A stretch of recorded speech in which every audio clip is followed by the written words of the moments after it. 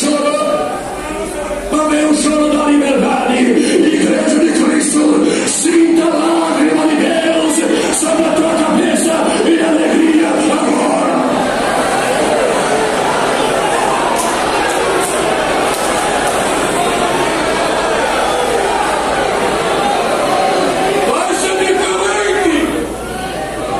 A partir de hoje, diz a profecia de Deus aqui hoje. A partir de hoje, começa uma nova história a teu respeito de lágrimas de alegria,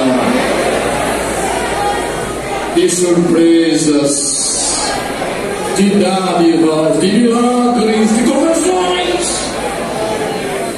A partir de hoje, homens e mulher de Deus, meus guerreiros, a partir de hoje, agora, aleluia, unção da lágrima da alegria vai pegar esta igreja a partir de agora.